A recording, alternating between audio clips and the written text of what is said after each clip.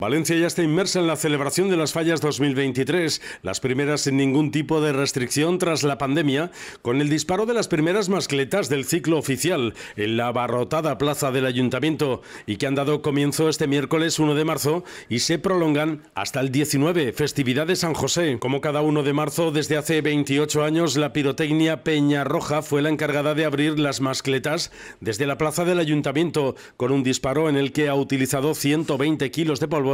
y que llenó de ritmo y sonido toda la ciudad para anunciar que las fallas ya han llegado.